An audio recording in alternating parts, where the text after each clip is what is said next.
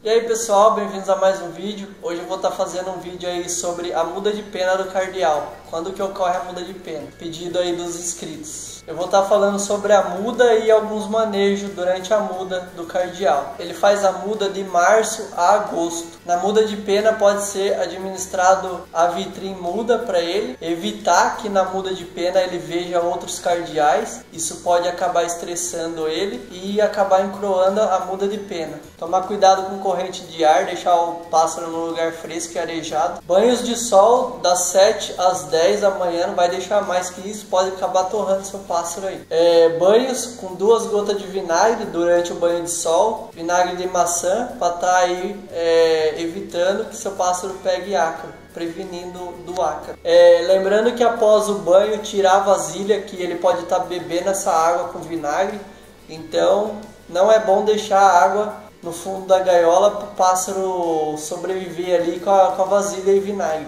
Tem muita gente que deixa Muita gente não, eu conheço alguns criadores que na hora de tratar, pega, coloca a água, não com vinagre, mas deixa a água à disposição direto, a vasilha embaixo. O que, que acontece? O passarinho caga lá na água e depois o passarinho toma. Não pode deixar a vasilha dentro da gaiola, só no bebedouro. Vai colocar a vasilha lá quando for tomar banho. Beleza, pessoal? Bom, pessoal, esse foi o vídeo de hoje. Espero que vocês tenham gostado. Espero ter esclarecido a dúvida de vocês aí. É, obrigado por assistirem meu vídeo, acompanhar o meu canal e se gostou, clique em gostei, se inscrevam no canal e compartilhe esse vídeo com os amigos aí.